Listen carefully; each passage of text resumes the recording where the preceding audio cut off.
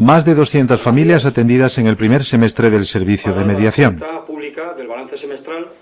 El servicio de mediación en materia de ejecuciones hipotecarias del Gobierno de La Rioja y que gestiona el IRBI ha atendido a 214 familias riojanas afectadas por procesos de ejecución hipotecaria en su primer semestre de actividad, según un balance realizado por su responsable, el gerente del IRBI, Carlos Alonso. Este servicio busca, por la vía de la negociación, evitar los desahucios y defender el mantenimiento de las familias en sus viviendas, agotando las diferentes posibilidades legales existentes, tanto la reestructuración o la quita de una deuda, la dación en pago o el cambio de uso de la vivienda a un régimen de alquiler social. En su primer semestre de actividad, este programa ha atendido a 214 familias, de las que 57 ha recibido ya una respuesta formal a su problema, 43 por la vía del acuerdo con las entidades bancarias y otras 14 realojadas en régimen hipotecaria. Una de cada dos familias, digo, ya ha encontrado una solución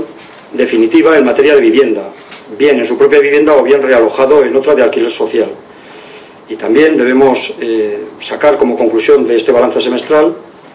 que ninguna de las familias afectadas, de esas 214 que han acudido al, programa, se encuentra hoy en día afectada o amenazada, mejor dicho, de lanzamiento.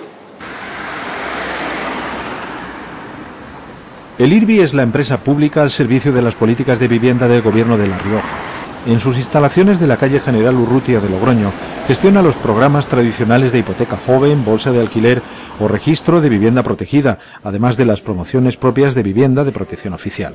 Desde febrero, además, gestiona el servicio de mediación para familias afectadas por desahucios, un servicio integral y gratuito de mediación personalizada ante las entidades financieras.